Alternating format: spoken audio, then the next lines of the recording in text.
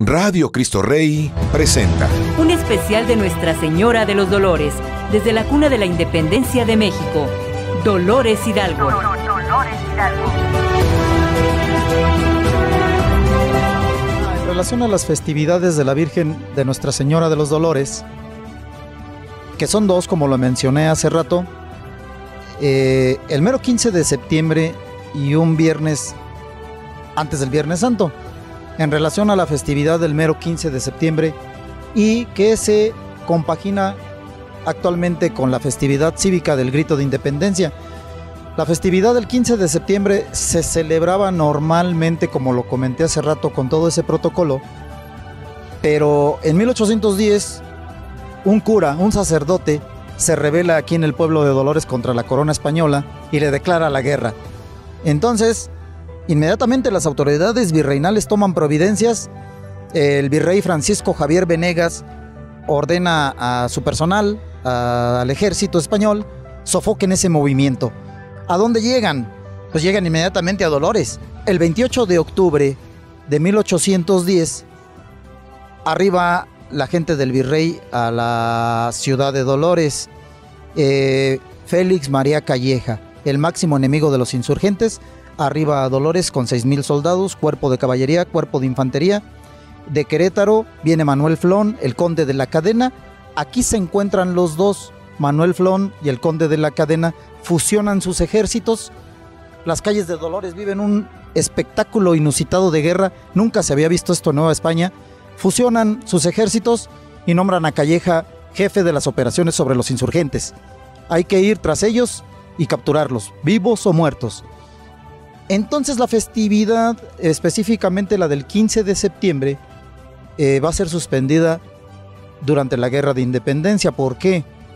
Eh, las autoridades coloniales, virreinales, la corona, bloquea al pueblo de Dolores. Por haberse iniciado aquí este movimiento, eh, va a sufrir un bloqueo. Por eso el templo que están viendo a mis espaldas, los visitantes, los historiadores nos preguntan que no era un templo tan grande para un pueblo tan pequeño en aquella época, pues es que Dolores estaba proyectado a crecer enormemente, a crecer grande. Esa era la traza de la ciudad de Don Álvaro de Ocampo. Pero como sufre este bloqueo por parte eh, de la corona española, Dolores ya no crece. Sí, eh, arquitectónica y urbanísticamente hablando ya no crece. Eh, se consuma la independencia en 1821.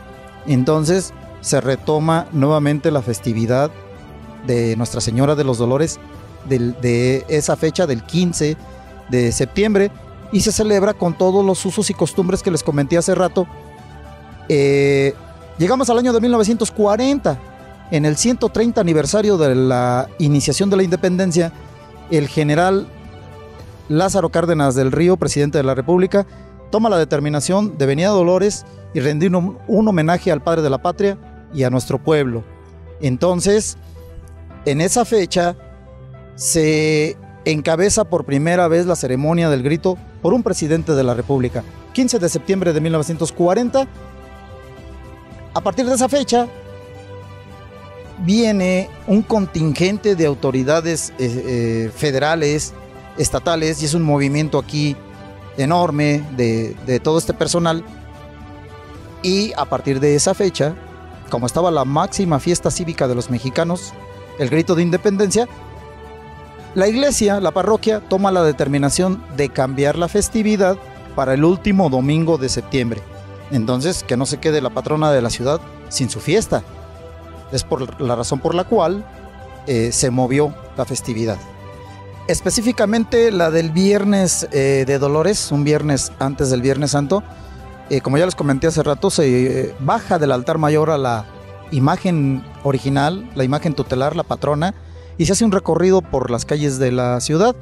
Eh, también tenemos la tradición de que cada casa tiene una imagen, llámese de óleo o llámese de bulto, como se le conoce vulgarmente, de escultura, y en cada casa se lleva a cabo la elaboración de un altar que lleva todas las especificaciones para su celebración y se le procura que se elaboren hacia la calle, en los aguanes, en los ventanales y que la gente vea el altar ese viernes de Dolores. Y tenemos la tradición de que la persona tiene que preguntar, ¿ya lloró la Virgen? Sí, ya lloró. Y al que va pasando, al transeúnte, al que visita el altar, se le regala un vaso de agua fresca o como es tradicional aquí en Dolores, una paleta o una nieve de sabores. Y se sigue celebrando. Dolores Hidalgo, bueno, se caracteriza eh, a lo largo del año por muchas festividades eh, y tradiciones también. Incluso las fiestas de mayor duración religiosas y paganas se llevan a cabo en un templo que está aquí a dos cuadras, eh, el 8 de diciembre, la Purísima Concepción. Son las fechas de, de mayor celebración, porque los ocho días del novenario que le antecede hasta el día de la festividad, eh, se llevan a cabo las verbenas, tocan músicos eh, en el otro jardín que está frente al templo. Y pues como les comentaba hace rato, tenemos muchas tradiciones a lo largo del año, eh, tanto en zona centro como en las comunidades rurales. Nos preguntan de platillos típicos tradicionales, que también forma parte de nuestra cultura, de nuestro folclore. Eh, tenemos los chiles de chorro. La gente nos pregunta, ¿por qué chile de chorro? El chile de chorro lo caracteriza un color verde intenso, diferente al chile poblano. El chile poblano es oscuro y carnoso, y el chile endémico de aquí de Dolores se le conoce como chile de chorro. ¿Por qué? Porque cuando va creciendo hay que irlo regando con un chorrito, con un chorrito diariamente, porque si ustedes le ponen agua de más, se pudre. Entonces de ahí el nombre de chile de chorro. Este se sirve en las comidas, pues relleno de queso, capeado con huevo, puede ir relleno en cuaresma con atún, eh, de, frijoles a la mexicana, frijoles refritos elaborados con chile, cebolla y tomate, de queso, y lo dejamos a la imaginación de los cocineros.